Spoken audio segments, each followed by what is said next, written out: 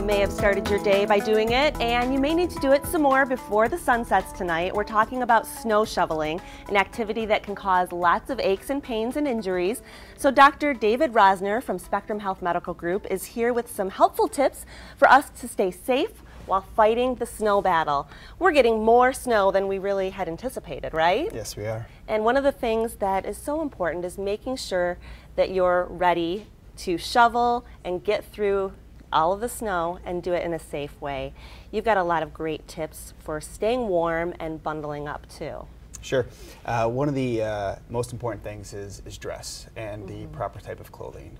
Um, making sure that everything um, um, is covered um, and nothing um, is exposed, meaning your hands, um, mittens or gloves, mm -hmm. as well as proper boots, proper clothing in terms of uh, a coat, which is supposed to be water resistant, and definitely having a scarf, a hat, mm -hmm. and something to cover your face as well. Yeah, when you talk about bundling up, that's really going to keep you insulated. It's going to keep your muscles a little bit warmer, but there's a lot of snow to be shoveled out of the walkways, the driveways right now. And when you're doing that, it really is quite a workout. So do you think that when you're getting out there, you can see a lot of people shoveling, there's snow blowing. Is it good to stretch? Yes. Or is that kind of a silly question? Nope, not silly at all. Um, absolutely, it's extremely important to stretch. Um, shoveling snow is an exercise, so um, proper preventative um, um, care is stretching before any kind of exercise. So proper warming up the muscles um, is definitely uh, something that we all should be doing prior to going outside and shoveling snow. You know, when I am on my commute to work every day, I see people outside. They're shoveling and they're throwing the snow over their shoulder. That is a no-no, isn't it? Yep, that is a very common mistake, and that can um, definitely cause injuries. Um, one of the ways is uh, I do encourage people um, to make sure they push the snow. Um, don't lift it, but there are some instances where we're going to have to lift the snow because we have so much snow out there. Um, and if you do have to lift the snow, making sure that you don't lift past your shoulders. Okay. And also making sure that you um, stand appropriately when you're when you're lifting, and making sure you're lifting from your legs mm -hmm. and not your back. So I tell people to making sure that they uh, keep your legs apart, mm -hmm. knees bent, squat, and keep the back nice and straight when you're lifting the snow. Okay, and you know even if you're not shoveling snow. If you've got a husband out there that's doing it for you, you're very, very lucky. But then you also have to walk across the ice, and especially for some of these uh, people that are a little bit older in the community, this can be danger zone. Yep. For falling, slipping, breaking hips and arms. Do you have any tips for walking safely? Um, making sure that you're telling people where you're going to be at.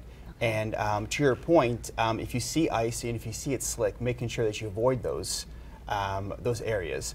And um, a common thing too, if the temperature is, is extremely cold out there like it is, sometimes the salt won't work. So don't bet on your salt working out there sometimes. Yeah, and we know that a lot of people that are commuting right now, you never know if your car unfortunately is going to break down. You get stranded. What happens then? Well, making sure that you stay inside, mm -hmm. keep the car and making sure that the heat's on, and making sure that you call for help. Okay, these are great tips. Are you at Spectrum Health Medical Group seeing a lot of people come in with aches and pains from doing this shoveling and trying to figure out maybe what they did wrong? Sure, and um, the most common injuries um, of shoveling snow is sprains and strains to your back as well as your shoulders. Okay, and if someone is at home, they can contact you if they're hurt or if they just want some preventative care. They can also call you. How do they get in touch with you? Absolutely. Um, the practice is at um, Blodgett Hospital on the professional side. It's 1900 Wealthy Street, Suite 200, and just give us a call, and we'll be more than happy to take care of you. Okay, and I love the tip that you said. If you're in your car, you get stranded, or even if you're going on hikes, you're going snowshoeing, or if you're going skiing, let someone know where you are so if something happens, someone can come to your aid. Absolutely, and making sure that your phone um, is just fully charged before you go outside. Great tips. Thank you so much, and people can find out more on your website. Absolutely. Thank you. Great. Thank you so much. All right, stay right there. We'll be back right after this quick break.